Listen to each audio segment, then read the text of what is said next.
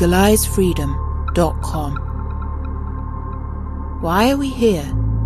Where do we come from? Where are we going? From the nature of reality to the future of humanity. Listen without limits. Unchain your brain. Change your thinking. Change your life. LegalizeFreedom.com.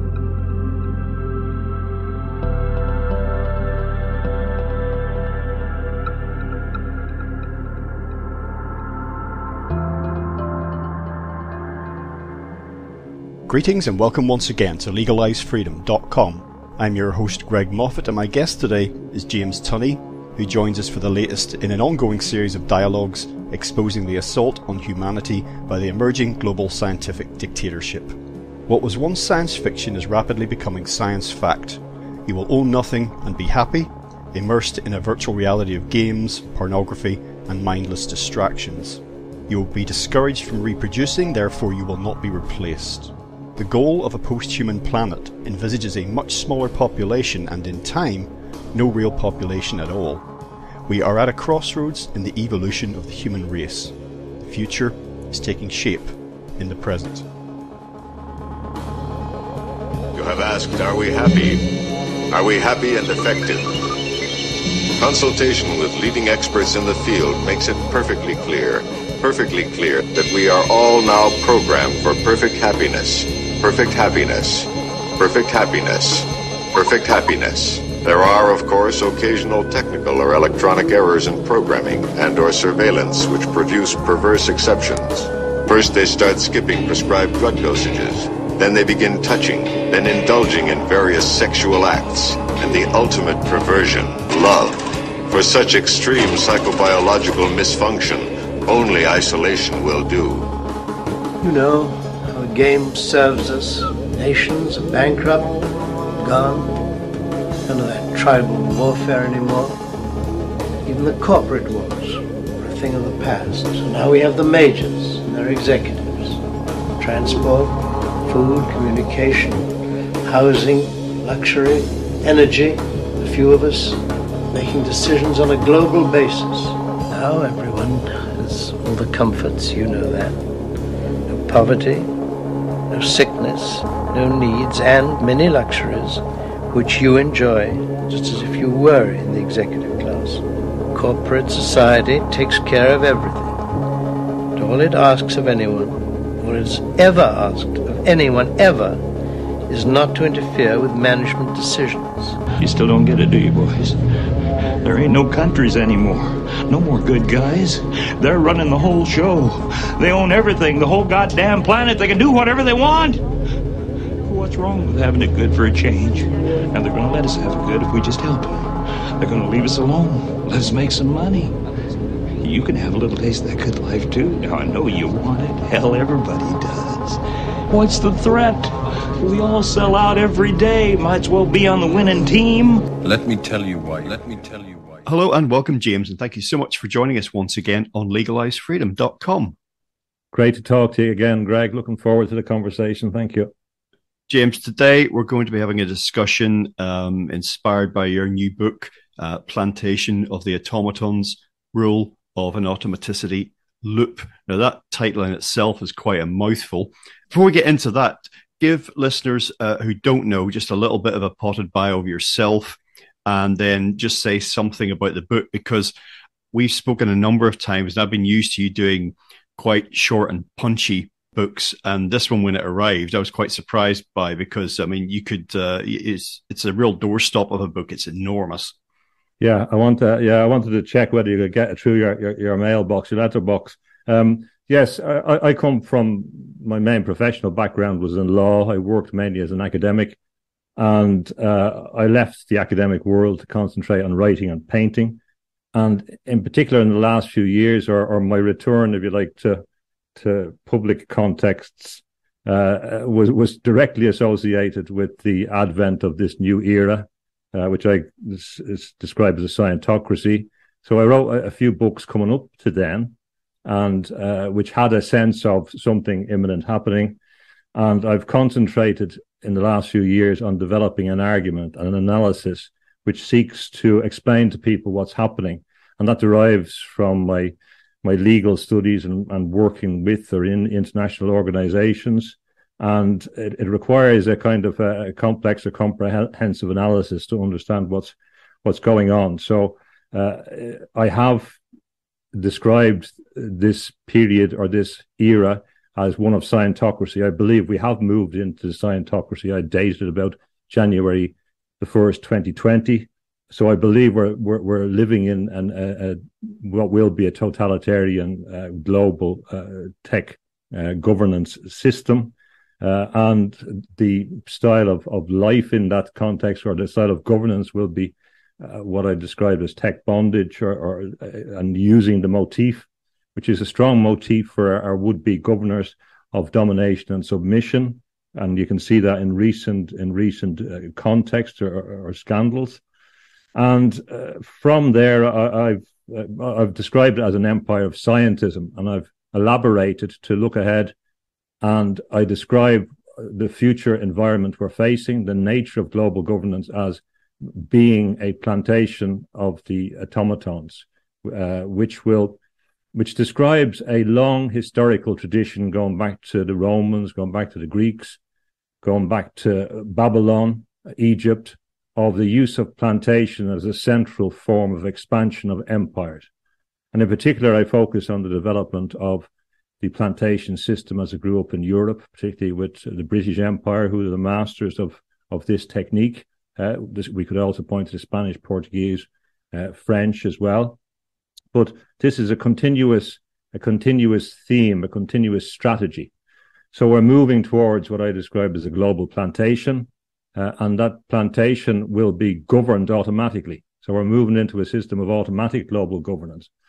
And this, of its nature, will turn the human being into an automaton, and they will be governed by uh, by automatons or auto- automata. Uh, and uh, so I think it's important to try and get some sense of what the objective is, because in a lot of the discussions, people are taking one little piece and they believe that that's determinative. And really, we have to develop a comprehensive awareness of what the picture is and what the end game is. And once we do, things become a bit clearer. They contextualize what uh, apparently disparate movements represent so um, my what I've attempted to do is to explain, in some sense, where this technique of plantation uh, corresponds with and, and is related to now the growth of the communication technology network, and how actually underneath all this is an idea of the human as a plant, which is kind of difficult for people to get their heads around in some sense. But this is the central motif of governance in many sense. And underlying that is a deeper esoteric idea, uh, going back to the evolution of humanity. Uh, we we know about the link and, and Darwin, the, the idea of evolution through animals, but the older link is the idea that we evolved from plants. And to a certain extent, we know that our governors, our would be governors, regard us as animals, uh, as well as that they regard us as a type of dysfunctional machine or computer that needs to be upgraded, upgraded or management or managed.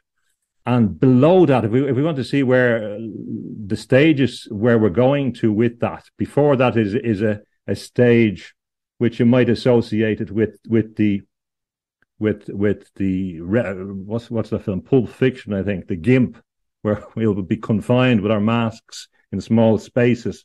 I think this is a motif that comes through the, the bondage context. But ultimately, we're going into a reverse a reverse idea where we become planted literally in the electronic network and we become embedded in the system so that we revert in, in, in an evolutionary sense to something which is more plant like, which is kind of like I know you discussed the green man before in your in your programs, but this is kind of a dark side of a green uh, of a green man, a green electronic man. And this is a deeper idea associated with a long history of plantation. And if you look at the, the growth of colonialism, particularly with the Dutch and the, the British, the significance, or, or the Spanish, the significance of plants is critical. Columbus is going for plants. The Dutch are going looking for spices. Uh, the cotton trade defines uh, world trade for for a, a, millennia, millennium. So uh, people really should begin to look at the significance of plants and the idea uh, again that we're moving into a, a an electronic plantation system. All all the language associated with with high technology, with telecommunication, is about plant the green movement is creating a mechanical network. It's not about the environment, really, if you look at it. It's it's setting up a whole lot of plants to sow the wind, if you like, and reap the whirlwind. So uh, all this mechanical approach to renewable energy, the vast solar fields, is part of building a technosphere. It's not really concerned with reconstructing nature, as you could guess by watching the way the the green people uh, fly to uh, all these conferences in, their jets. It's hypocritical, and it's it, it's a different agenda. Well, maybe just briefly say uh, for background for people a word about the idea of plantation. Historically, it was something that's very familiar to me, but it may not be to many listeners. For example, I grew up learning in history about the plantation of Ulster uh, you know, where I'm from, that was a thing. And one of my friends growing up lived, he grew up on Plantation Road in the town yes. where, where I'm from. So, yeah. you know, this, the, just, just to sort of fill in for people who you, you've been very eh, lucid in what you've said, but just historically, it, what that actually involved. Yeah. Well, really, it began, it goes back to the Portuguese in its modern form. And as they began to uh, explore the coast of Africa and discover places like Madeira, and develop um, sugar plantations and associated going back to King Henry the Navigator. Uh, there was an idea that you could use groups of people to achieve particular purposes, like grow sugar, for example, in a particular area. Uh, and then it expanded with the Spanish going to in the various modes that the Spanish used in South America in relation to how they would utilize the, the, the native population, exploit them to, for, for mining and for crops. Um, and in its mo- in its modern form, it was developed in particular from Tudor times, and it was developed uh, in Ireland, uh, as you, you know. And uh, in particular, uh, movements there was a variety of movements of plantation, and it's important to emphasize that in this context, the historical idea of plantation is really about planting people. So, if you look at the plantation of Ulster, actually, a lot of the old forest was cleared in order to and associate with that is a shift to agriculture and often to single crops like uh, flax, for example.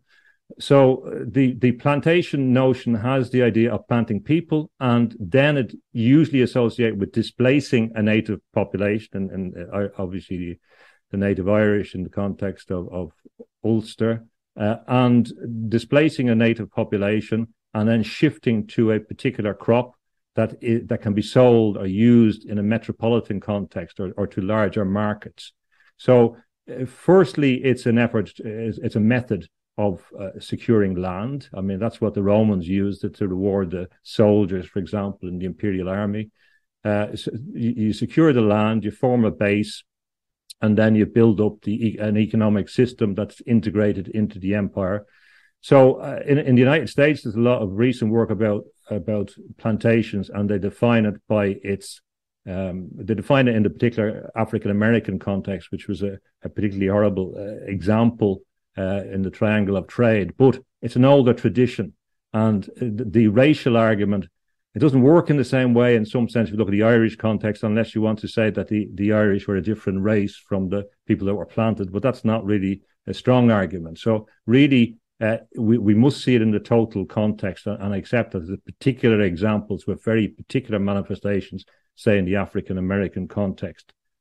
Now, you used the word scientocracy. Uh, I've not seen that anywhere else. I don't know if you've actually coined that term, but technocracy is something that people have been hearing hearing a great deal about during the last two or three years.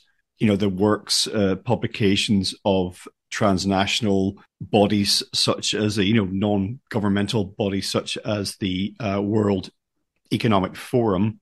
And uh, scientism is something that people will be familiar with as well that again has kind of drifted somewhat more into the public consciousness during recent times So, what we have lived through with uh, the pandemic, whatever you think about its origins or nature or the response to it, has brought many of these issues to the fore in terms of both government and again, you know, transnational global organizations that their their their statements, their actions, their proposals, but also in in people's thinking about the future and uh, the, the the situations that we face, threats, real or otherwise.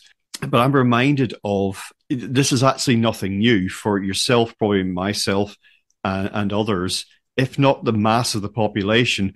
These concepts, these ways of thinking, uh, proposals, uh, ideas about the future of our civilization extend back a long way. Uh, and this is something that you've documented in your writings. So it's really something that for many people appears to be new. Uh, where did this come from? Uh, again, in recent times, but this that historically this is a long, long history. Yeah, and perhaps uh, it's worth just to refer to what, what some of those terms mean, uh, uh as you've suggested.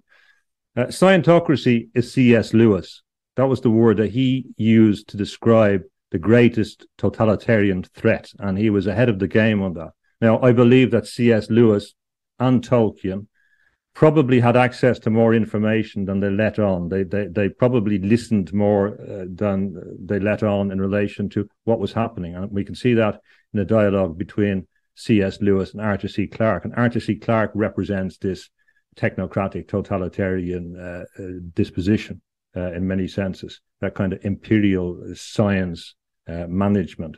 So C.S. Lewis really warned about scientocracy, and he warned associated with that there would be uh, an abolition of of of man, of humankind. So he was the one that really uh, identified that issue. And, and and when I had come to that conclusion and looked back looked back through the literature, he was the one that most anticipated this idea of scientocracy. So I believe that we're in scientocracy now, that we've happened, that now you're going to, oh, you open the paper and, and you're reading about lateral, well, if you read the paper, I don't but people be reading about lateral flows. They're getting used to this idea, masks. He said that the worst totalitarianism would be based on science, that it was inherent in the scientific method and that it would combine the worst of fascism and communism and and he anticipated it as being the, the worst form of totalitarianism as far as I can see.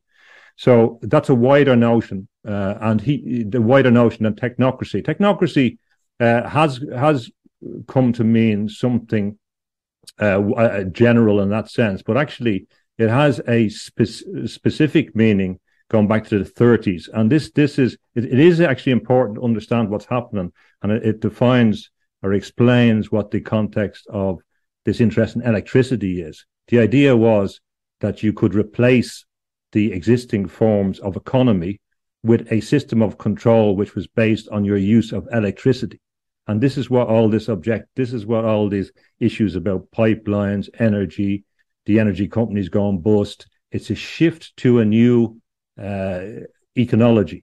It's going to disappear. It's going to make the economy disappear and it's going to your life is going to be uh, managed, interpreted by your use of electricity. It sounds daft, but that's what they've been working on uh, for 90 years. Associated with that, uh, there, there's a book out this month, I don't know if it's published yet, about uh, capitalism and how it's uh, evolved. And it makes the case that in the 1920s, there was a new shift towards economics as a new discipline. And this this idea of economics as a kind of scientific discipline was born in a technocratic way to justify uh, bouts of austerity, which would which would deflate the workers' movement that they were worried about at that time. So uh, there's a wider technocratic uh, notion, but but so, so, that's a very specific, the central idea uh, of technocracy in many sense is that idea of a shift to a total system of control based on electricity. And that's what's happening. That's what will be happening next year. And that's why you'll see companies going bust, you'll see businesses going out, and then you'll have this idea that is really for managing the protecting the environment that will stop you moving and will you'll have to justify your existence, what you do, uh, limitations, etc. But these are all the products, these are all the poisoned fruit of a long system or effort from uh, imperial Europe in particular uh, to utilize science to manage by a scientific elite. So the, the main leader in that context is, is Francis Bacon. And Francis Bacon was very associated with plantation, and he was very associated the, the book, the unfinished book, New Atlantis, with the idea of um, the idea of having a scientific elite in secret managing the world through their collection of intelligence, uh, which is of course information about people, data, and the use of high technology to uh, control uh, systems. And from that idea uh, and the Royal Society, we have an idea of imperial science, a utilitarian idea, an idea of using uh, the, the or marrying science with the empire's needs. Now, I argue in my Empire of Scientism book that what has happened is that, uh, as people like J.D. Bernal have told us, that they would, he wrote in the 1920s, and uh, similar to H.G. Wells, he described a world in the future where scientific corporations would take over by stealth and they would then turn people uh, effectively into mechanical beings and uh, the elite would escape to the uh, to to space and they would use the earth as an experimental zoo basically for people that didn't want to change so yeah had that there's the basis of really all the ideas about the matrix, etc. And Haldane, other people associated with that. So that goes back to the long tradition, basically, of imperialism. So what we're talking about is a perfection of imperialism, an extension to a global scale. And that's really what globalism is about, not just globalize, not just the forces of globalization, but the, the idea of governing on a global scale. And this was anticipated by Churchill in his idea of shifting to the empire of the mind. He outlined the idea that we had, we, there was a choice between anarchy and order. He, he outlined this in his speech in Harvard, and he, he suggested that the empire of the mind was the future. And this was something which was in particular born out of the work in places like Bletchley Park, the work of Alan Turing and that in cybernetics, where they realized that they could utilize this technology building on the systems they had laid down around the world from the 1850s onwards, from the sea cables, uh, which which which mirror the sea routes that the British Empire had controlled after the, the Seven Years' War. And they laid down the, the undersea cables along the sea routes and they developed most of the major technological developments uh, came from places like Britain and America, the Anglosphere, the Anglosphere extended or the, the, the, imperial axis extended to Japan once they'd come to California and established bases in California, a place like Berkeley. And then they were able to, to use that as a base to begin to exert control over, over Japan. So I, I, focus on the Atlanticist basis of uh, the move towards global government. And in particular, around that time, you had the birth of NATO around the, and NATO, if you look at the literature, the book one of the books that inspired NATO called Union Now, I think in 1939. He explicitly says, uh, Clarence Streit in, in, in, that book explicitly says that uh, the machine requires a world government. So world government was a function of the machine. The machine was not a function of world government. It's quite incredible uh, this, the description. So NATO and the Atlanticist system is predicated on the idea of mechanization and of building a machine. And a machine, the machine ultimately is a machine of governance, and it becomes then the the technosphere. And that's quite clear from from looking through the literature. Do you recall the there was three of them? I, I if I recall correctly, the Zeitgeist movies from a decade or more ago. Did you watch those? Uh, no, I don't. I don't have a television. I don't go to the cinema anymore. So I'm relying on. Uh, I, I, sell, I look at certain things when I'm following themes. So uh, I, am not a culture vulture like you are. You are, Greg. Okay, so Zeitgeist was a series of movies. I say a trilogy that was brought out a decade or more ago, and very much when you look back, particularly advocating technocracy as the answer to all our problems, a resource based economy, essentially, yeah. you know, decrying the current state of the world and the economic, social, political uh, and other systems that were, you know, seen as uh, portrayed as falling apart. And this was the answer. You know, don't worry about money. Work with what we actually have, which is, is resources, which is true. That's all we have. Uh, you know, sometimes when they say things like, "Oh, well, in this African village, we can't, they can't afford to build a school," all the while the building materials are sitting around them, but they yeah. don't, ha- they don't have pieces of paper or numbers on a screen that say they can build it.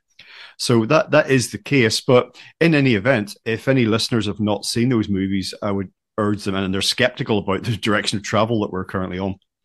Yeah, look at that again because they were quite the they were called zeitgeist for a reason. You know, they were quite the the the subcultural phenomenon at the time, with a lot of people saying this is what we need to do. You know. Yeah, there, there's a. You've been very good in your series on ontology about picking up the clues that were there. Um, and sometimes it's people signaling what's happening. Sometimes it's a priming uh, for us of what's going to happen. You remember those? There's plenty of, of, of examples I can think which which predicted or, or, anticipated or described to us what was going to happen. If you look hard, if you look hard enough, and you have, um, and uh, like you, the ideas, for example, of the circular economy are becoming very strong, uh, and uh, there's particular manifestations of particular ideas which sound good, but when you look at where they come from, you see that they they fit very well into cybernetics, which which of course is really about governance of people by technology, really how how to govern human behavior. And I know that that's critical because if you look in in the mindset of the ones that would be governors, if you look, for example, at China and the incredible, uh, incredibly horrible uh, confinement of its citizens uh, in, in, in, ongoing supposed COVID problems, which the West doesn't seem to be bothered about. It doesn't seem to be bothered about because it's a forerunner of what we're going to get. Uh, and it's people have have given up on that, uh, uh, have got used to giving away their liberty. But this idea of locking in an entire population, tens of thousands of people, they're calling a closed loop system.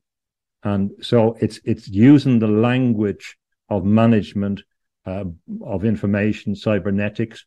And uh, another example from the West, Elon Musk, he's using the language, uh, for example, of amplification. Uh, uh this is again another cybernetic concept. So both both the West and uh, the East, communism and capitalism, is speaking in the language of this cybernetics, of technocracy, of the management by information and and control. And we can see how they've used these systems, uh, and they're using these systems all around the world, from Canada to the Middle East, so that they you know they can cut off your bank account through this this, this push button uh, power. So the uh, the ideas were there. We have to get we have to get uh, more focused on the specificity of what they're doing and their mindset. Because if you look at people behind the logic of the uh, Club of Rome, for example, like Donella Meadows, who was an expert in cybernetics, she said that it doesn't matter what system you get to govern a world, you have to remember or you have to focus when you're analyzing any complex problem about what the ultimate aim of, of the system is. And that's not that's what people are not focusing on. So all these debates that are going on every day, you know, whether from transgenderism to whatever the environment uh, they don't focus on the big issue. The big issue is this movement towards total automatic governance. Everything else is subsumed and designed or anticipated to ultimately go towards uh, towards that goal. And the last point this idea of green as, as well it can be interpreted in another way. Uh, the green movement doesn't doesn't seem to be that interested in nature anymore. It's more interested in a technical solution. And part of this, uh, well, to make another cultural reference, in Sim- I think it was Simpsons, the movie where the, the dome was built over Springfield.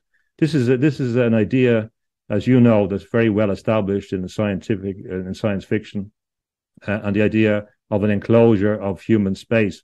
This this idea goes back to the management of plants to greenhouses to glass houses and there's a kind of a psychopathic suggestion in it that that uh, in this idea of the humans as plants we're moving towards this green environment whereby the uh, the technosphere forces us into con- concentrated spaces which are covered in glass uh, as in an acclimatized sense as they possibly destroy the atmosphere in the desire to uh, to ransack the, the, natural resources of the world to build this supposedly environmentally friend, friendly uh, system. Well, yeah, you talk about the sort of contradictory sort of motivations of the so-called green movement. Uh, there's, there's a school of thought that the technocracy and uh, you know that this impulse is a response to what at root is a mounting, a gathering energy supply problem, and that our industrial civilization of the type that you and I live in isn't sustainable. It's going into decline, and that has to be managed. Better to manage that in an orderly, if very controlled way, than to allow it just you know an, an anarchic collapse. But at the same time, you then have a lot of so-called solutions, proposals and technocratic ideas that appear to be entirely dependent on increasing amounts of energy. You know, the the command and control and surveillance grid, the, that matrix is very energy dependent. So that those in themselves are kind of contradictory. I, I think the answer to this question for me goes back to what Deng Xiaoping said in 1992. And he said, the Chinese leader at the time, and the head of the Communist Party.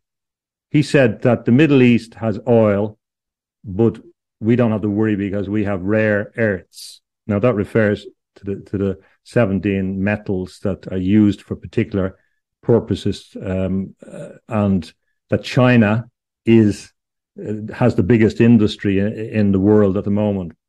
Now these rare earths are critical for all of this technosphere.